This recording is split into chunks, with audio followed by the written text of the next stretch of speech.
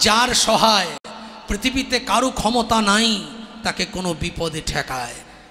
একমাত্র ঠেকাতে পারে ঈশ্বর। রাখে হরি মারে কে কথাটা এমনি নয়। দুর্যোধন দুঃশাসনের ক্ষমতা কম ছিল না।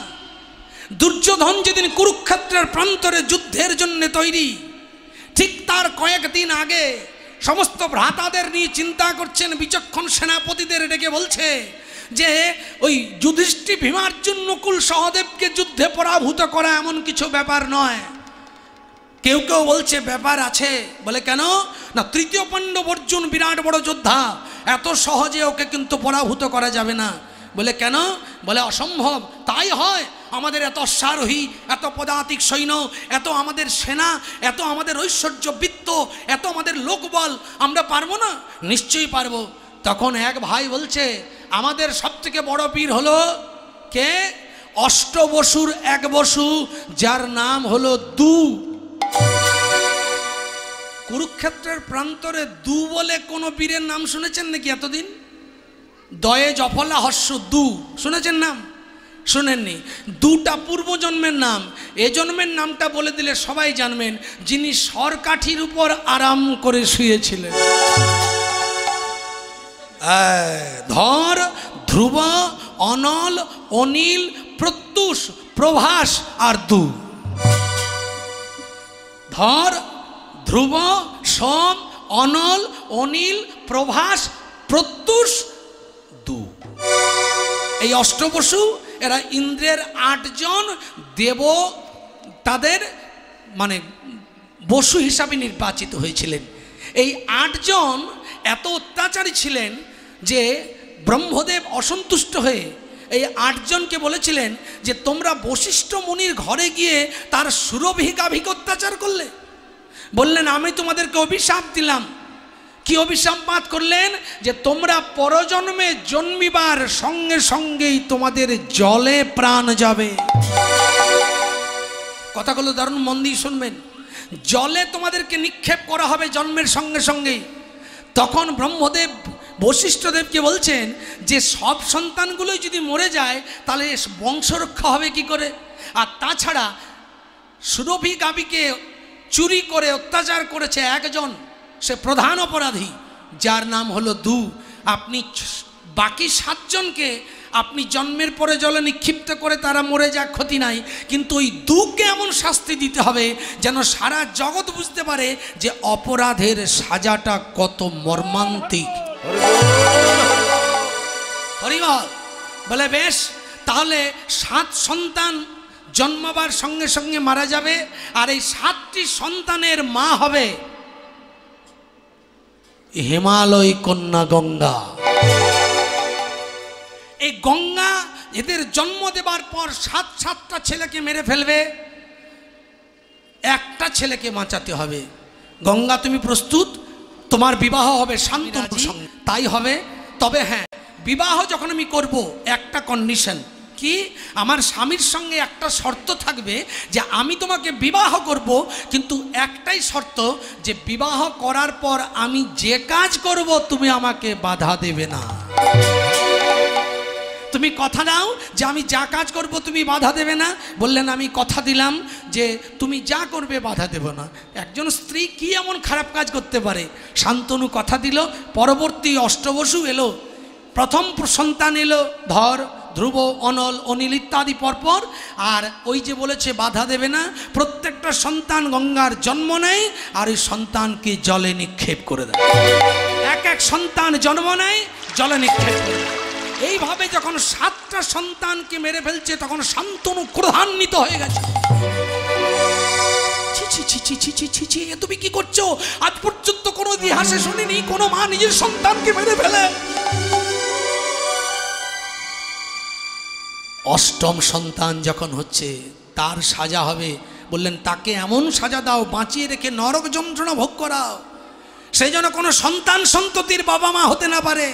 সে যেন সারা জীবন কষ্ট পায়, তাহলেই বুঝতে পারবে যে অপরাধের সাজা কি।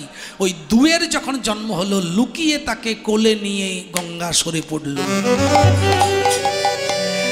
এমন বিদ্যায়, এমন বুদ্ধিতে, এমন শাস্ত্রে, এমন যুদ্ধতে পারদর্শী করল।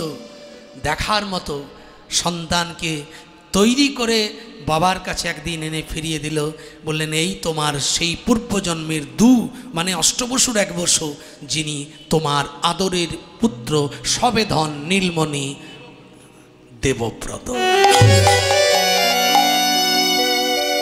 সেই ভীষ্ম তার কাছে পাঁচটা বান আছে শুনেছি, দুর্যোধন বলছে তা ওই ভীষ্ম যে এত বড় বীর, চলো ওনার সঙ্গে একটু আলোচনা করি যে এদের সঙ্গে কি করে যুদ্ধ করা যায়। আর মাত্র দুদিন কুরুক্ষেত্রের যুদ্ধ বাকি। ভীষ্মর কাছে গিয়ে বলছেন, দাদু, ওদের সঙ্গে যে যুদ্ধ করব আমরা জিততে পারব তো? বলে, কেন পারবে না? আমার মতো বীর রয়েছে। তুমি জিততে পারবে না বললে কি করে ভাই? বলে আচ্ছা দাদু, তুমি কেমন যোদ্ধা? মানে কতগুলো সৈন্য তুমি মারতে পারবে? বলেন, আমাদের সৈন্য সামন্ত অনেক বেশি, বলো? বলে হ্যাঁ বলে, তুমি কত সৈন্য মারতে পারবে? বলে, আমি একদিন রাত্রিতে ষাট হাজার সৈন্য মেরে ফেলব। আর দুর্যোধনের কি আনন্দ? বলে বেটা, ষাট হাজার যদি আমার দাদু একা কামাল করে দেয়, তাহলে বাকিগুলো যদি এক হাজার করে মারি, তো একদিনেই তো অনেক হাবিস হয়ে দুঃশাসন বলছে, দাদা, দাঁড়াও, এত বোকামি করো না, আনন্দে নেচো না। আচ্ছা দাদু, ওদেরও তো কোনো সেরকম বীর সৈন্য আছে? বলে হ্যাঁ ওদের এরকম বীর যোদ্ধা আছে যুদ্ধে পারদর্শী বলে হ্যাঁ আচ্ছা সে কেমন পারদর্শী? কে সব থেকে বেশি যুদ্ধে পারদর্শী বলে? কেন? তৃতীয় পাণ্ডব তুমি শোনোনি অর্জুনের কথা? বলে "হ্যাঁ, শুনেছি। বলে আচ্ছা সে কতজন মারে? দাদু তখন মুচকি মুচকি হাসছে আর বলছে বাবা সে শুনেছি একটা পলকে নাকি ষাট হাজার মেরে ফেলে।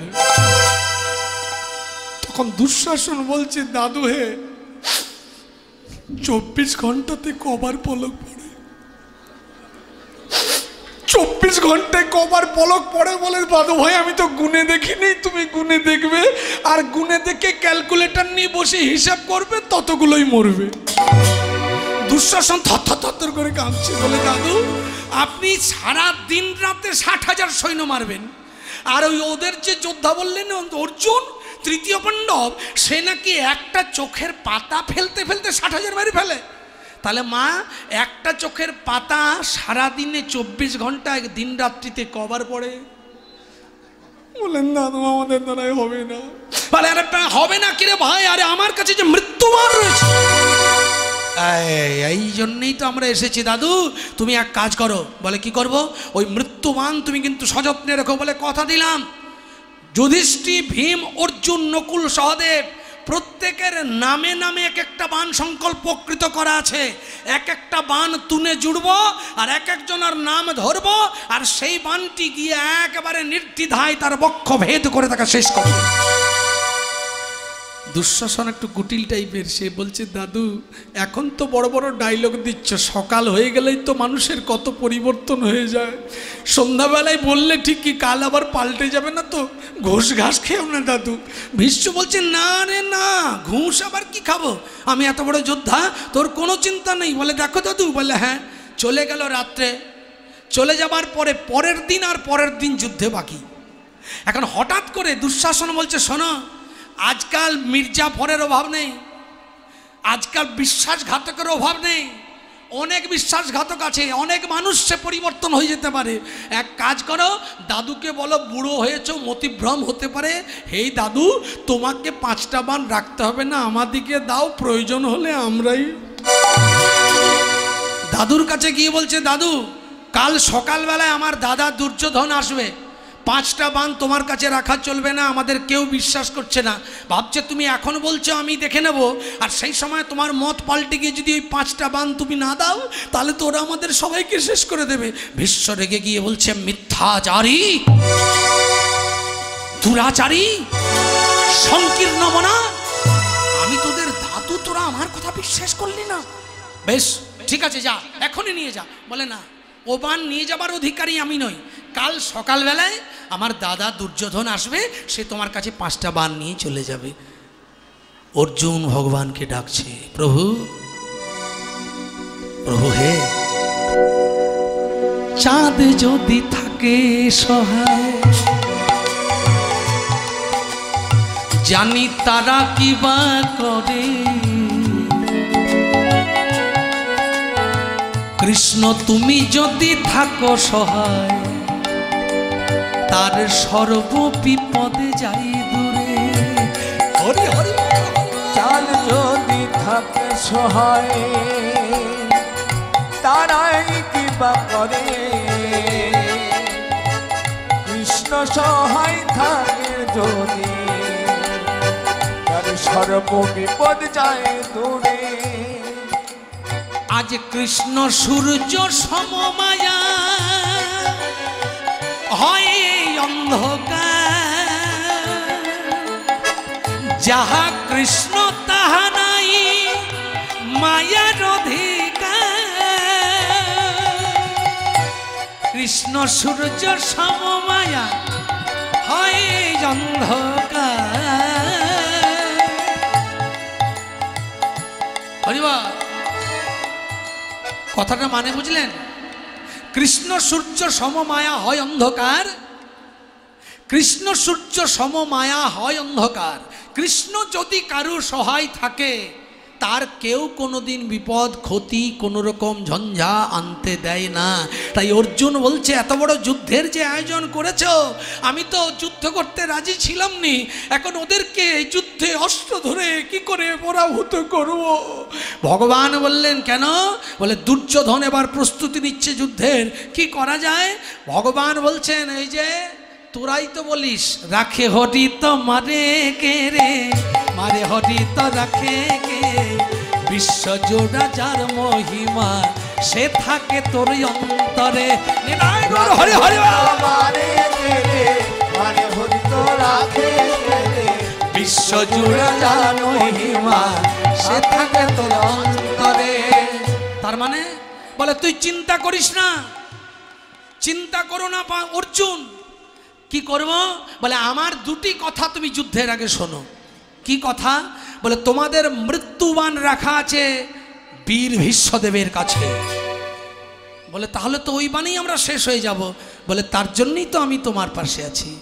ওদের অসংখ্য কিছু আর আমি শুধু তোমাদের। বলে, কি করতে হবে? দীর্ঘদিন আগে ফুলেশ্বর নামের এক রাজা কাননে দুর্যোধনের গৃহবধূরা ফুল তুলতে গিয়েছিল। ফুল তুলতে গিয়ে তারা বিনা অনুমতিতে ফুল তুলে অনেক বৃক্ষ নষ্ট করেছিল বলে ক্রধান্বিত হয়ে সমস্ত গৃহবধূ যতগুলো বউ গেছিল বাড়ির, সবগুলোকে একসঙ্গে নিয়ে কারাগারে আবদ্ধ করেছিল। এমনকি ফুলেশ্বর রাজার এত ক্ষমতা যে দুর্যোধন দুঃশাসন আদি করে সবাই গিয়ে তার সঙ্গে যুদ্ধ করেও পেরে উঠতে পারেনি। সবার শেষে পাণ্ডব তৃতীয় অর্জুনের শরণাপন্ন হয়েছিল। মানে তোমার, মনে পড়ে সেদিন? তুমি গিয়ে এমন বীরত্বের সঙ্গে যুদ্ধ করে ওই রাজাকে হারিয়ে ওই সমস্ত ঘরের বউয়েদের সম্মান সম্ভ্রম রক্ষা করার উদ্দেশ্যে তুমি তাদের কারাগার থেকে মুক্ত করে উদ্ধার করেছিলে। আর সেদিন তুমি বলেছিলে দুর্যোধন খুশি হয়ে বলল, ভাই, আজ আমি যা পারিনি, তুই তাই করলি। তুই আমার ঘরের বইয়েদের ইজ্জত, সম্মান, সম্ভ্রম রক্ষা করলি। আজ তারা আবদ্ধ হয়েছিল এক পরের রাজার কাছে। আজ তোর জন্য এরা সম্মান ফিরে পেল।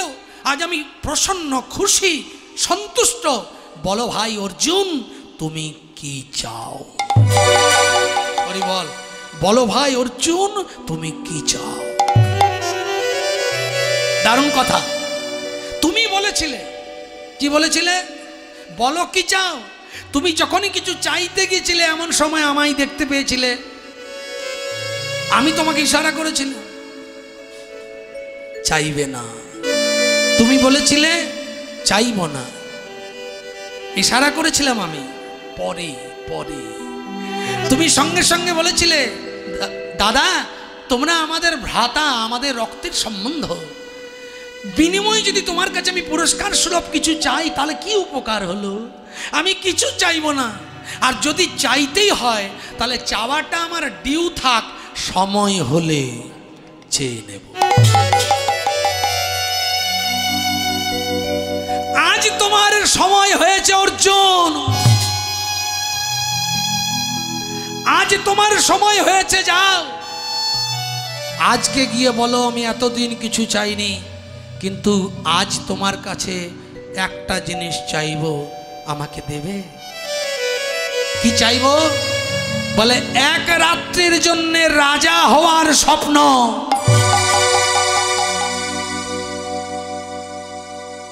চাইনে প্রভু রাজা হতে, রাজা হবার সাধনায় আমার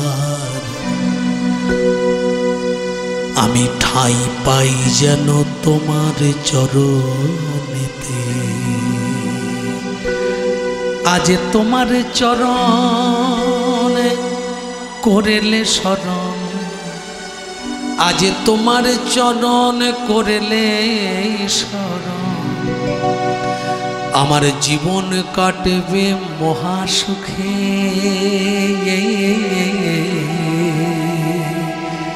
চাইলে প্রভু রাজা হতে। অর্জুন! অর্জুন, আমি তোমাকে সে রাজা হতে বলিনি।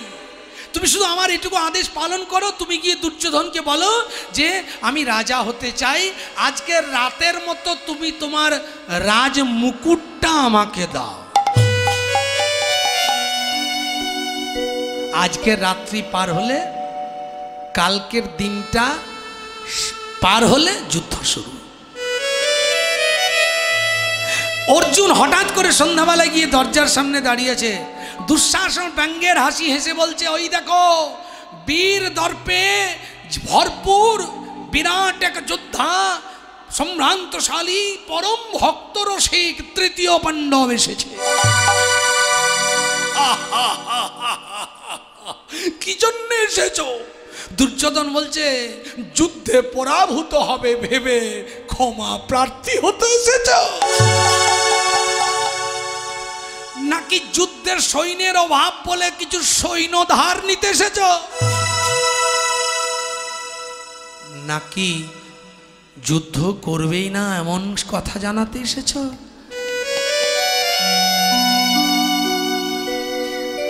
আজ আমি তোমার কাছে সেই দিনের চাওয়াটা চাইতে এসেছি।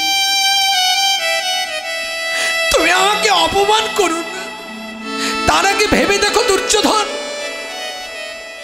আমি তোমার ভাই, আজ তুমি আমায় ব্যঙ্গ করছ। যুদ্ধ মানেই কিন্তু সে শত্রু নয়। যুদ্ধটা হবে যুদ্ধের মাঠে, আজ তো তুমি আমার ভাই। তা ভাই যদি ভাইয়ের কাছে আসে, তাকে কি অপমান করতে হয়? আজ আমি যে কিছু চাইতে এসেছি তুমি আমায় দেবে? আরে সবল তো দুর্বলকে সব সময় দেয়।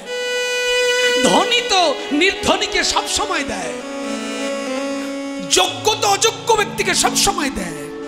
সহায় তো অসহায় ব্যক্তিকে সব সময় সহায় দান করে। দেব না? কি চাও? এই, হাজার কয়েক স্বর্ণ মুদ্রা এনে দাও। তাহলে কি চাও? বললেন, সেই দিনে যে আমি তোমার গৃহবধূর সম্মান রক্ষা করেছিলাম, সেই ফুলেশ্বর কাননে। সেই দিন তুমি বলেছিলে, তুমি যা চাইবে তাই দেবো। আমি বলেছিলাম, আজ চাইব না, এটা আমার বাকি রইল। সময় হলে চেয়ে নেব, তাই আজ আমি চাইতে এসেছি। বলে, কি চাইতে এসেছ? বলে, বহুদিন ধরে তো দারিদ্রতা, দৈন্যতার সঙ্গে কৃষ্ণকে বন্ধুত্ব করেই বেঁচে আছি। পেলাম না তো কিছু।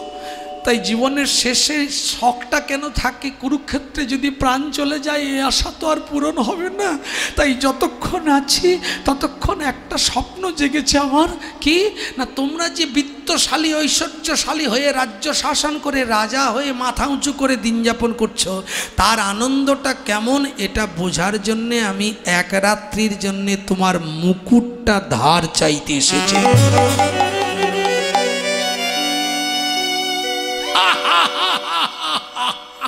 দুর্যোধন বলছে আরে কাক কখনো ময়ূর পুচ্ছ গুছলে ময়ূর, হয়? রাজা সবাইকে মানায় না। আচ্ছা দা দুঃশাসন, বলো যারা আছে আমার মুকুটটা এনে দিতে। মুকুট পরে যদি রাজা, দাও দাও, দিয়ে দাও। এত ব্যঙ্গের হাসি হাসছে, আর অর্জুন শুধু মনে মনে, রাখি হরি তোমারে কে রে মারে হরি তো রাখে কে? বিশ্ব জুড়া যার মহিমা, সেই আছে মোর অন্তরে। উলুধ্বনি রাখে হরি তোমারে কেড়ে মারে হরি তো রাখে কেড়ে বিশ্ব জুড়ে জানা মহিমা, আছে তার অন্তরে। রাখে হরি তোমারে কেড়ে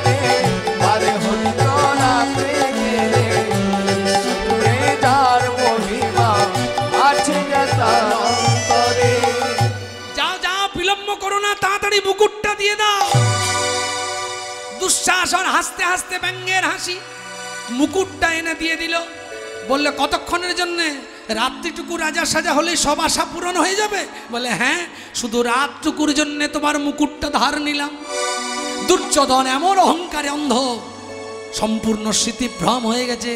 দুর্যোধন একবারও চিন্তা করল না যে আমি কি সর্বনাশ করছি। কেন মা? সর্বনাশটা কি? সর্বনাশ হচ্ছে দুর্যোধনের মুকুটের এমন ম্যাজিক এমন জাদু যে দুর্যোধনের মুকুট পরে সেই দুর্যোধন হয়ে যায়। ওই মুকুটটা যে পড়বে সেই দুর্যোধন হয়ে যাবে। সেটা তার মনে ছিল না? ছিল কিন্তু ওই তো ভগবানের মায়া এর নামই তো ভগবান।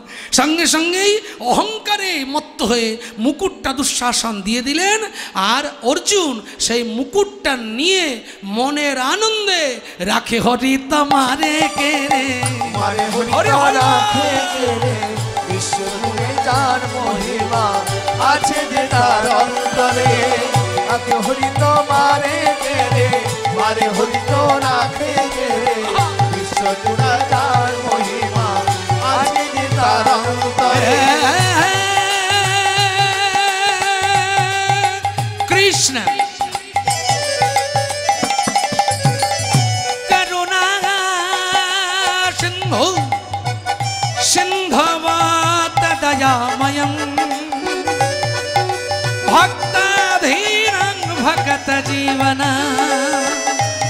করুণা সিন্ধু সিন্ধবাত দয়াময়ম ভক্তাধীরং ভগত জীবন ত্বং প্রণমামি চ শ্রীনন্দনন্দনম হরি হরি বল। রাখে হরি তো মারে কে রে মারে হরি তো রাখে কে রে বিশ্ব জুড়ে যার মহিমা আছে যে তার অন্তরে রাখে হরি তো মারে কে রে মারে হরি তো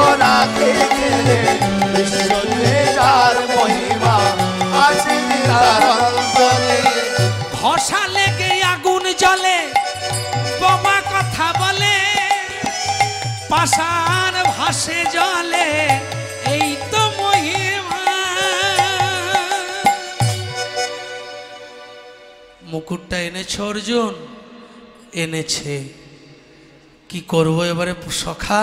বলে পরো পরো সখা, এই ঐশ্বর্যের মুকুটের গন্ধ আমার ভালো লাগছে না। আমি আদেশ করছি তোমায় পড়তে হবে। সব রকম অভিজ্ঞতা অর্জন করো। মুকুটটা মাথায় অর্জুন পড়েছে। পরার পর বলছেন, এবারে খুলে দিই। বললেন, না, একবার ঘুরে এসো। কোথায় ঘুরে আসব? বলে, দাদুর সঙ্গে দেখা করে এসো। দাদুর সঙ্গে মানে? মানে বিশ্বের কাছে যাও। গিয়ে শুধু দাঁড়াবে, কিছু বলতে হবে না। বলে, দাঁড়াবো, কিছু বলব না, তার মানে যা মুকুটটা পড়েছে, অর্জুন হয়ে গেল দুর্যোধন।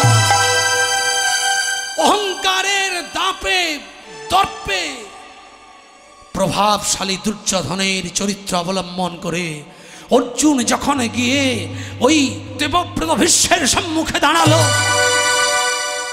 ভীষ্ম বলছে, দুরাচারী, সংকীর্ণ মনা, নিচ, অবিশ্বাসী, তোরা সত্যি সত্যি রাতে ঘুম হলো না। চলে তোদের মনে এত সন্দেহ যে পাঁচখানা বান আমি ফেলে দেব বা লুকিয়ে দেব বা নষ্ট করে দেব? আমি তোদের পক্ষ অবলম্বন করে সঙ্গে যুদ্ধ করব না।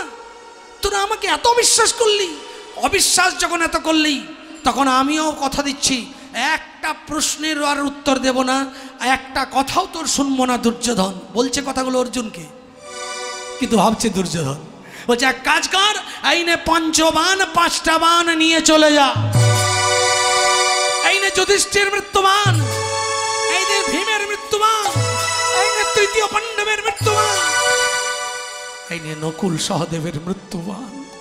যা, বিলম্ব যা চলে যা।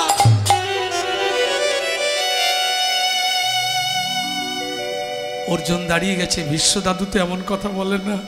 বানগুলোই বা কেন দিয়েছে? বানগুলো নিয়ে দাঁড়িয়ে আছে।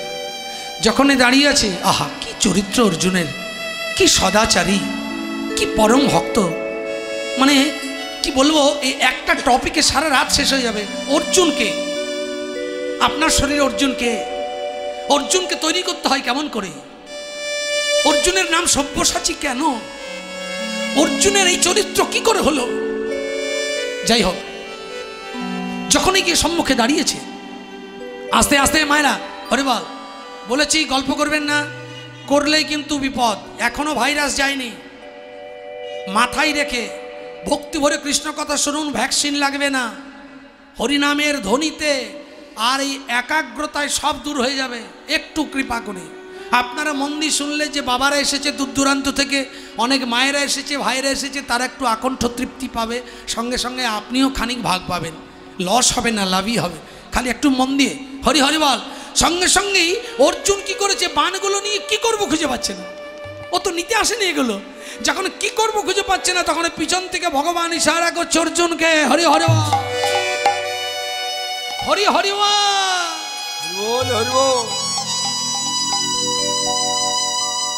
পঞ্চমান ধরিয়া করে অর্জুন চলে যায়। অদূর হতে দেখি কৃষ্ণের ওই হাতের ইশারায়। হরি হরি পঞ্চবান ধরি করে অর্জুন চলে যায়। হতে শ্রীকৃষ্ণের হাতের ইশারা। এটা আপনাদের সবার জানা। প্রাণ খোলে। রাখি হরি তোমারে রে মারে হরি বিশ্ব জুড়ে যার মহিমা থাকে তোর অন্তরে। রাখি হরি মারে মারে হরি মারে রে।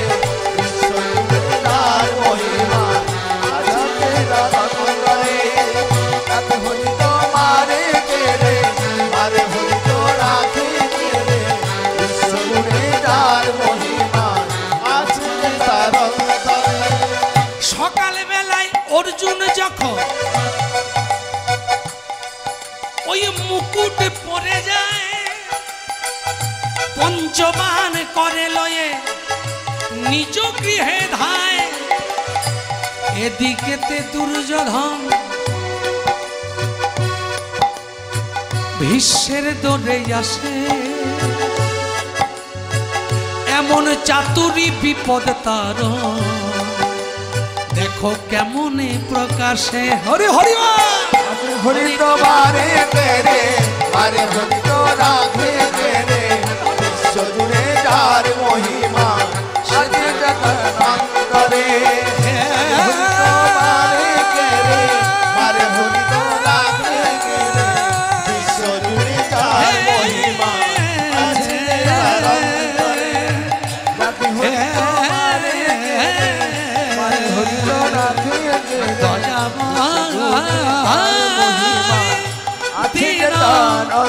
বন্ধু,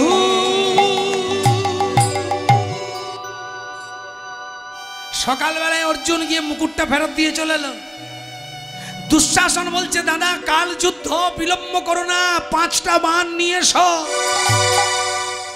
দুর্যোধন এবার যখন রাগে গিয়ে সেই পাঁচটা বান আনতে গিয়ে দরজায় দাঁড়িয়েছে আর ভীষ্ম দুর্যোধনকে দেখে বলছে আবার কোন অভিসন্ধি নিয়ে। যাও, চলে যাও, তোমাদের কোনো কথা আমি শুনতে চাই না। কি অভিসন্ধি নিয়ে আবার এসেছ? দুর্যোধন আকাশ থেকে পড়ছে, বলে, অভিসন্ধি নিয়ে মানে দাদু, তোমার কি মাথা খারাপ? দেখলে, আমি বলে গেলাম, তোমার কখন কি মতিভ্রম হয়ে যাবে, বয়স হয়েছে। তুমি এমন করে বলছো, কাল আবার পরিবর্তন হয়ে যেতে পারে। দেখলে কেমন পরিবর্তন হয়েছে।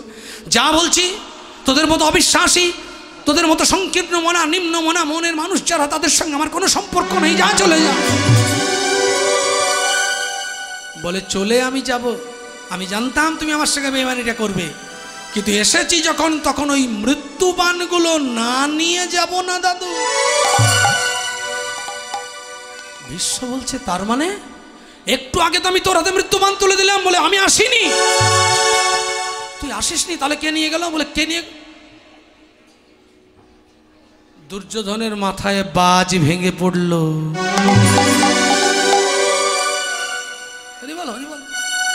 দুর্যোধনের মাথায় যখন বাজ ভেঙে পড়ল মানে দুর্যোধন বুঝে গেল সর্বনাশ হয়ে গেছে। একটু আগে তোর হাতে আমি বানগুলো দিলাম।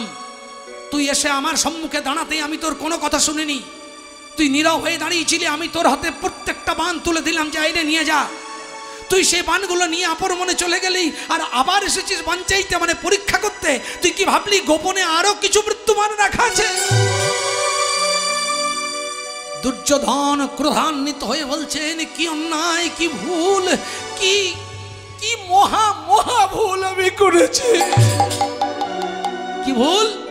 আমার মাথার মুকুটটা রাত্রিটুকুর জন্য অর্জুন যে পড়তে চেয়েছিল ওই অর্জুনকে মাথার মুকুটটা দিলাম বলে আজ অর্জুন, আমি সেজে আমাদের এত বড় অস্ত্রগুলো সব নিয়ে চলে দুর্যোধন যখন কপাল ঠুকছে, তখন ভগবান পিছন থেকে দাঁড়িয়ে বলছে, দুর্যোধন, কে বলেছে ভগবান তুমি ভক্তের এই প্রাণ। তবে কেন যত দুঃখ দাও? বলে, যেমনই করিছ কর্ম, তেমনই ফল ভোগ হয়। এ কথাটি শুধু শুনে যাও। তার মানে অহংকারের নেশায় মত্ত হয়ে ভাবলে আমি যুদ্ধে জয়ী হয়ে যাব। সব যুদ্ধে জয়ী হতে তুমি পারবে না, দুর্যোধন। কেন পারবে না? না, স্বয়ং সাক্ষাৎ ভগবান যার পক্ষে পৃথিবীতে কোনো বিপদ তাকে স্পর্শ করতে পারবে না। হরে হরে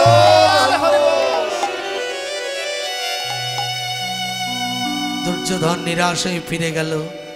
আর যুদ্ধে দুর্যোধন চিন্তাই বাদ দিয়ে দিল যে আমি আর ওদেরকে পরাস্ত করতে পারব। বিশ্বের সঙ্গে যুদ্ধ হচ্ছে মা। বিশ্ব যখন যুদ্ধে কুরুক্ষেত্রের প্রান্তরে দাঁড়িয়ে আছে, অর্জুন মনে মনে চিন্তা করছে। বলছেন, সবই তো হলো সখা, কিন্তু অত বড় বীর ভীষ্মকে কি করে যুদ্ধে পরাভূত করব? ভীষ্ম যদি এক এক করে অস্ত্র পরিশন করতে থাকে, আমাদের সবাইকে শেষ করে দেবে। ভগবানের কি মায়া, কি মহিমা, ভগবানের কৃপা কেমন দেখুন? ভগবান কি বলছে জানেন? বলেন, এক কাজ করো। কি করব? বললেন ভীষ্মকে যুদ্ধে জয় বধ করতে হলে শিখণ্ডীকে তোমার সম্মুখে নিয়ে এসো। শিখণ্ডীকে চেনেন? চেনেন? কে শিখণ্ডী? হ্যাঁ বাহ, হরি বল।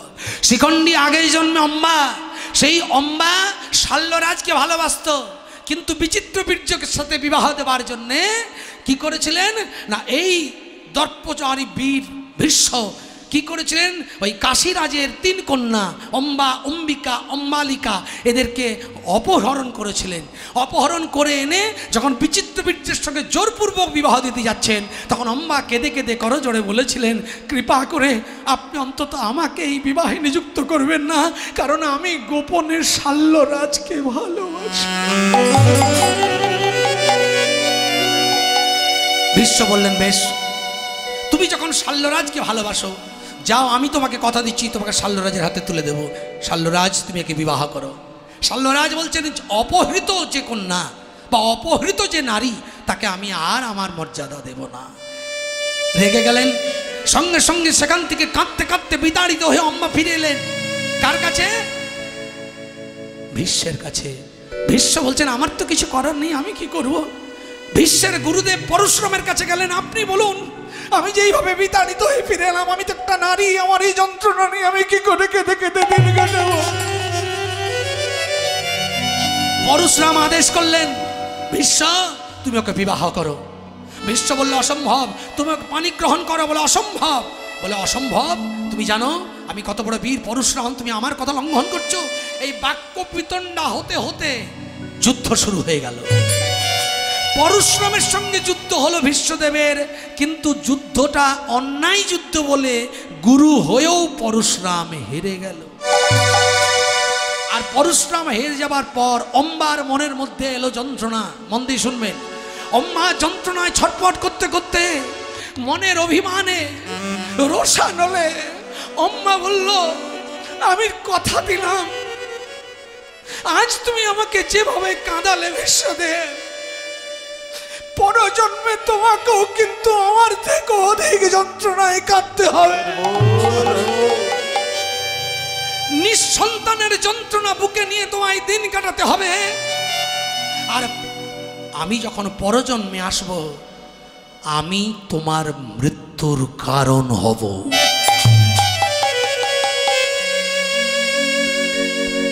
ধ্রুপদের ঘরে জন্ম নিলেন, ক্লিব হয়ে জন্ম নেবার পর সে কোনো কারণে পুরুষ হয়ে গিয়েছিলেন, নারী ছিলেন, হয়েছিলেন পুরুষ। নাম হয়েছিল তার শিখণ্ডী। কিন্তু সে নপুংসক ছিল আর ভীষ্মের আদর্শ ছিল যে যুদ্ধের সময় যদি ভীষ্মের মুখের সামনে কোনো নপুংসক ব্যক্তি দাঁড়ায়, ভীষ্ম অস্ত্র ধরবে না।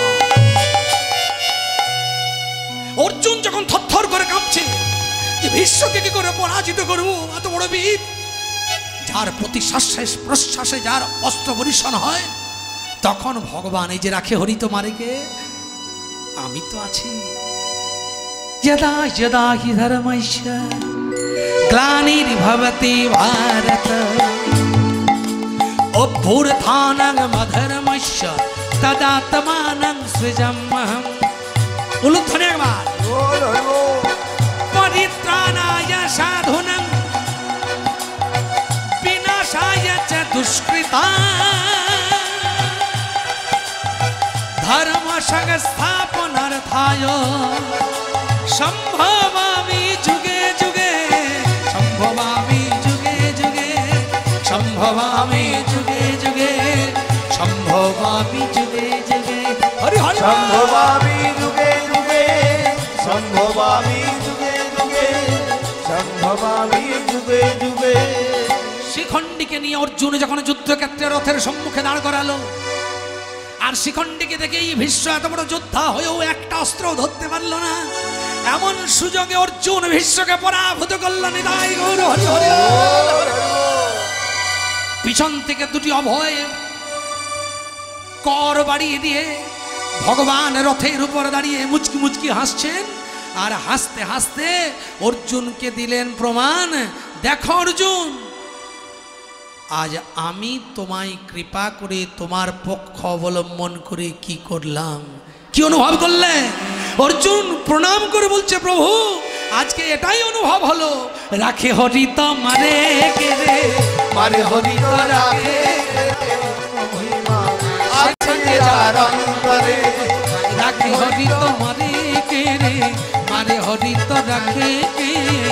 বিশ্ব জোড়া যার মহিমা, সে থাকে যার বিশ্ববধ হয়ে গেল। আস্তে আস্তে সরসজ্জায় বিশ্ব সাহিত্য হলো। ভগবান প্রমাণ দিলেন যে ভগবান যদি কারও সহায় থাকে মা, তার পৃথিবীতে কোনো বিপদ আসে না।